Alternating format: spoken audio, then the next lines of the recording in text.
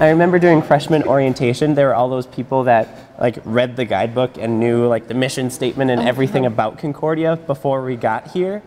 And then there were always those little like, hey, who can answer this question? And I was always so jealous because I couldn't answer any of those questions, and they always got candy for winning. Oh.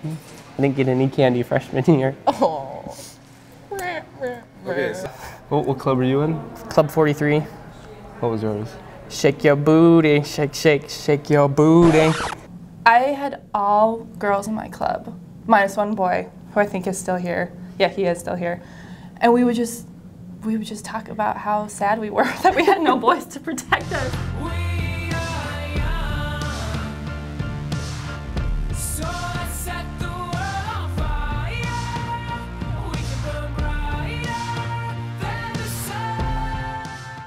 Protection.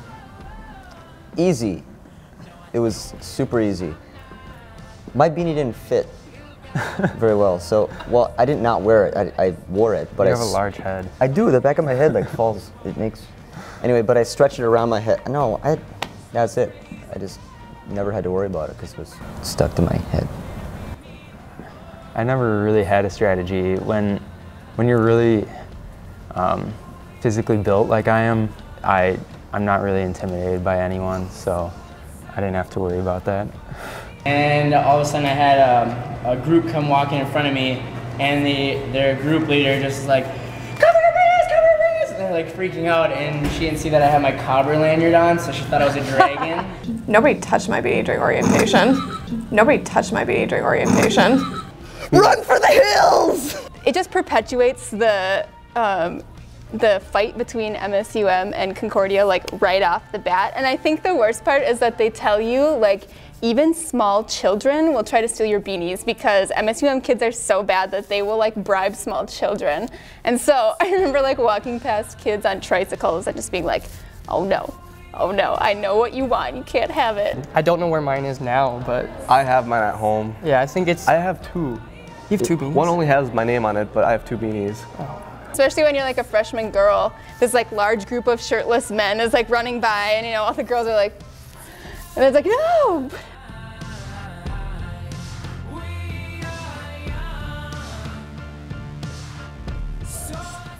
I never stood in line for registration. I don't know if I did either. I always had somebody else do it for me. I had friends go and do it for me. I, I actually did the same thing. Yeah, I never I had to did the do it exact same myself. thing. Yeah, I, I- I- kind of didn't want to. Sometimes I had leeway, like I had maybe 20 minutes before class where I could do it, but I just kind of pawned it off on. It was Matt Rauhauser both years. So Matt Rauhauser, thank you. I Remember, I was like, I'm gonna roll up two minutes before we're supposed to register. Not the right choice. Yeah. Should have gotten there sooner. Yeah, I was the opposite. I was like first one in line. People were mm-hmm. asking me. I was bringing up the rear. How high is the water, Papa? She said it's two feet high and rising. But we can make it to the road in a homemade boat, cause that's the only thing we got left that'll float. We took it upon ourselves to conserve water and bathe minimally that entire week. So I apologize to anybody else that may have sandbagged with us freshman year because we probably stank really bad. One thing I don't think people understand about the flood because they haven't experienced it is how much college kids actually loved the flood and for many reasons. One, obviously because we didn't have class. Two, because like here there's all this camaraderie and everybody comes together. Three, because there's so much free food and it is good food. And like especially the first year, like Buffalo Wild Wings is like bringing in wings and it's like if you think that sandbagging is miserable, it doesn't even matter because you're gonna have food for like a week, like free food. and they were looking over. They just had walked off the sidewalk. They'd walked by a cop, and they walked off the sidewalk. And then the cop came over and was clearly on a power trip, and was like, "You can't be on here. You're disturbing the dike." So he arrested them and took them to jail for a night. And it was two boys and one girl. I don't feel too. I don't too. Don't feel bad for the two boys because they're fine. They just rolled with it. But the one girl had to spend the night in jail all by herself. And she knows who she is, and I still feel bad to. No student can escape the magic of large lady land. Like I remember after the trays were gone, seeing football players with like three glasses of milk or Powerade or whatever with like two plates stacked, and they're just like, Who a needs- crazy balancing act. Who needs three glasses of beverage? Football players, I guess. I think it actually helps them in their training um, because it requires um, balance and um, skills that they might not use on the field or the court all the time. Oh, I didn't think of it that way. That's so true. I think there was a lot of complaining, but really it was it was for the best of society. I would advocate for trays to come back because I uh, only have a DS meal once a day, and I sometimes don't eat all day because I know I'm going to gorge myself. I like it because I didn't eat as much. I mean, at first I was pretty upset because I'm like, how am I supposed to take my glass and balance all of this? But you learn how. It affected me positively. I I think it was the greatest deal, idea since ever, ever. I stole a tray, and to this day still have it. Yeah. We have a cup. Sorry, DS. Seeing people bring their own trays. Really? Yeah, I saw a couple people bring their own trays. That's actually pretty smart. Yeah.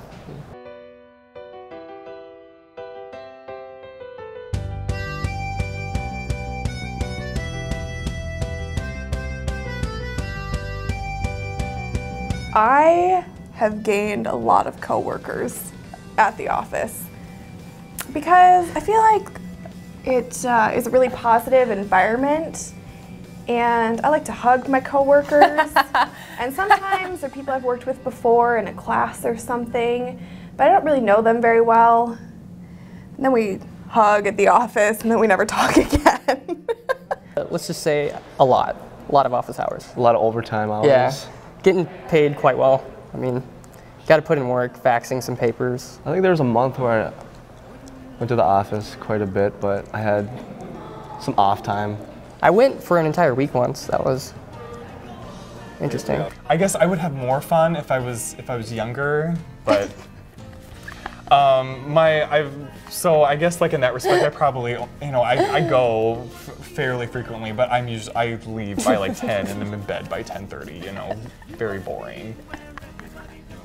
I spent a lot more time in the office first semester because I was a pretty motivated student and, you know, budgeted my time a little bit better. What's more fun is getting Taco Bell after, to be honest. Especially the new Doritos Locos tacos, the Supreme, which is $1.79 instead of $1.29, but you get sour cream and tomatoes.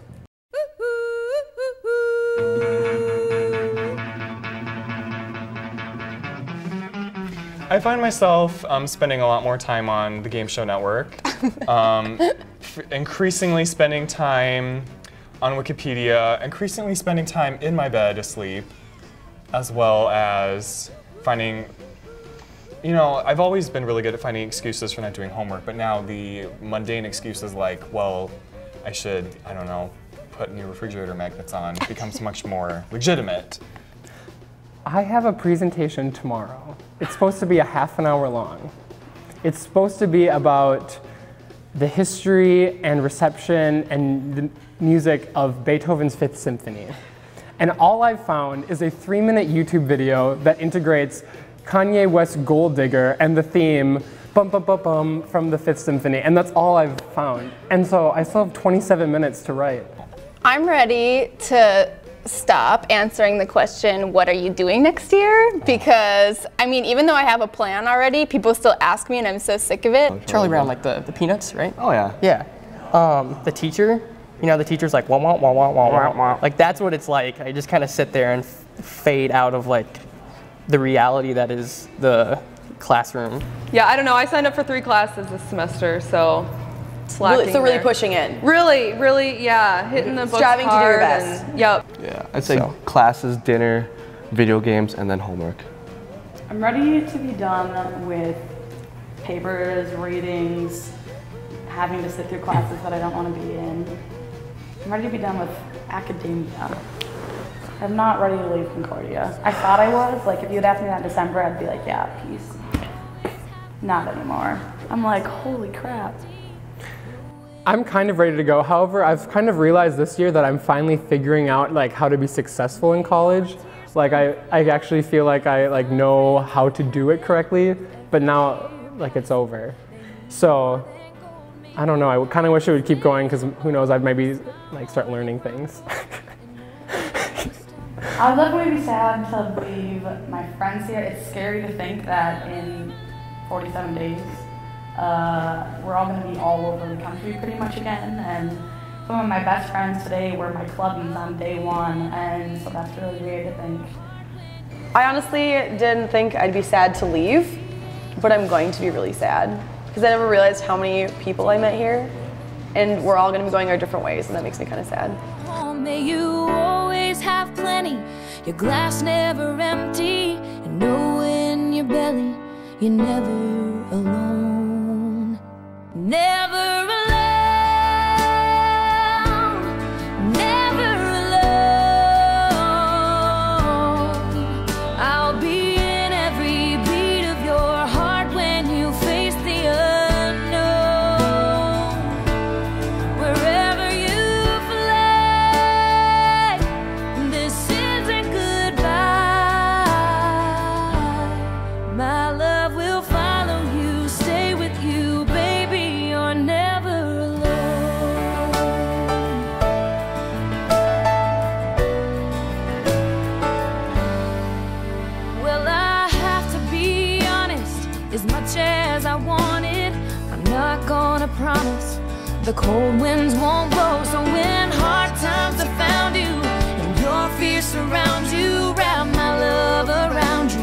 You're never alone. Never